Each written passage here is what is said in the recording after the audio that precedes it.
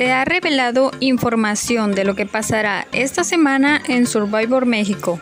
Después de que se estuvieron implementando muchos cambios en la competencia, dos sobrevivientes regresarán de nuevo a la competencia y eso sí está confirmado. Catalina y Sadi regresan a la competencia.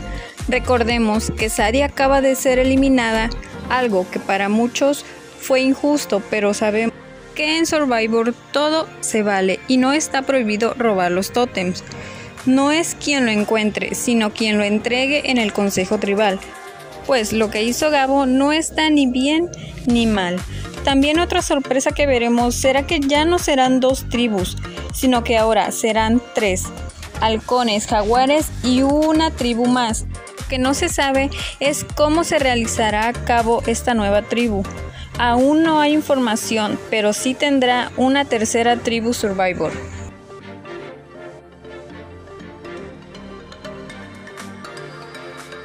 Y como también sabemos, llegó el reemplazo de Fátima a Halcones. Jackie es la nueva sobreviviente de Halcones. Algo que ha cambiado a las tribus es que ella llegó con unas ganas a la competencia, pues asegura no querer la inmunidad que reciben cuando son nuevos, por lo que ella está decidida a ir al duelo de extinción sin ningún miedo. Todo lo que indica que Halcones no ganarán en esta semana el duelo de salvación. Muchas sorpresas se vienen en Survivor en estos días. Recordemos que todo está cambiando.